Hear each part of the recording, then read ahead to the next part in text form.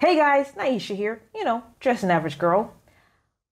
Because of Hurricane Ian, I unfortunately was unable to post my experience of Universal's Halloween Horror Nights and Busch Gardens Howl-O-Scream this year, so I decided to mash them up together and create what I'm going to call Who Did It Better?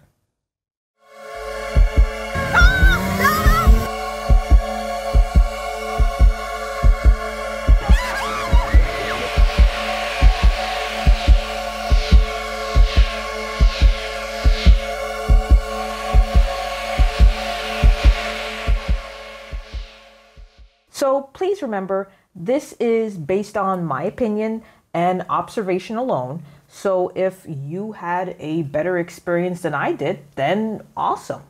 If you see something that you agree here, that's cool too. So let's see who did it better this year, and I will start with decor and gore.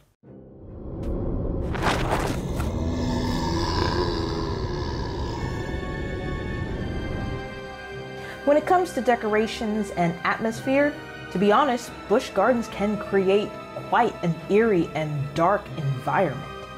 It makes you feel like you're jumping into a whole other world. As for Universal, I love how very decorative it is. In fact, you can barely see any spots that don't have anything that's Halloween. So both points go to both parks. Now, decorations is one thing, but areas that will amaze and terrify you is another. I'm talking about scare zones. So next category is scare zone antics.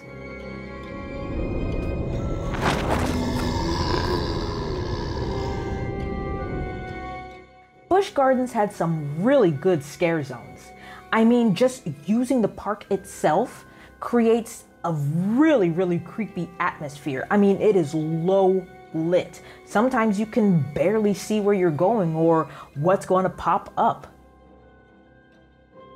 You don't need a story to realize that you just walked into a bayou full of villainous voodoo vagabonds. You could hear it from the music. And believe me when I say actors play a major part, which I will talk about later. When it comes to the scare zones at Universal,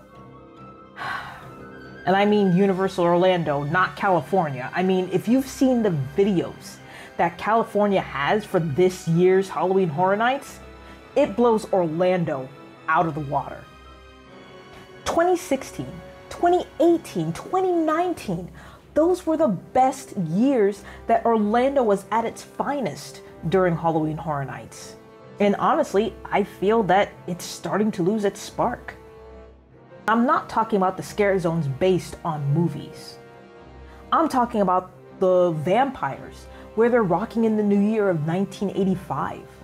Or the zombies of all your favorite actors and singers and musicians. Even their demented Toyland was great. But this year, I didn't feel it. I'm sorry, Orlando. I love you. I really do. But California really outshined you this year. And a major reason is what, again, I'm going to mention towards the end. So the winner for this round is Busch Gardens for their best scare zones. Now, it wouldn't be Halloween without houses that go bump in the night. The next category is Houses of Horrors.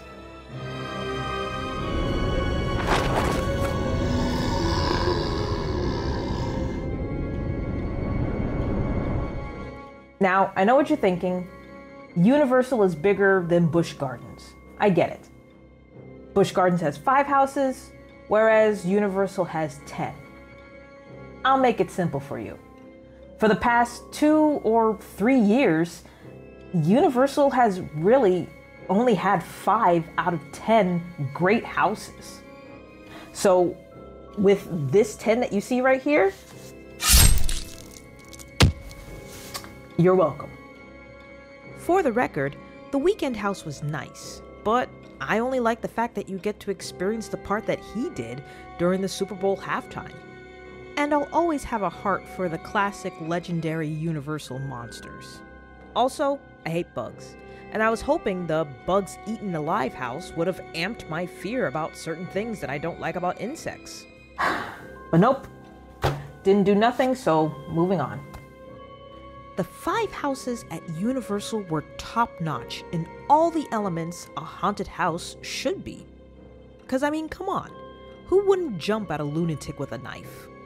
But honestly, I jumped at Busch Gardens more times than I ever did at Universal Studios. I'm talking all five houses.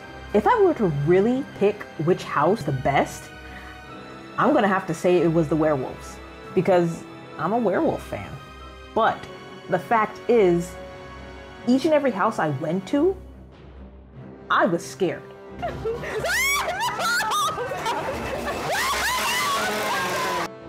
I was freaking scared. And I loved it. And I believe that the element of surprise plays a major part in their houses. I mean, it's low lighting, decorative at its best, and where they place their actors helps make the houses truly terrifying. I'll have to say, once again, points go to Busch Gardens. Now we come down to the last category where I find it important because without them, these events wouldn't be fun. So I'm talking about the scare actors. So on to action.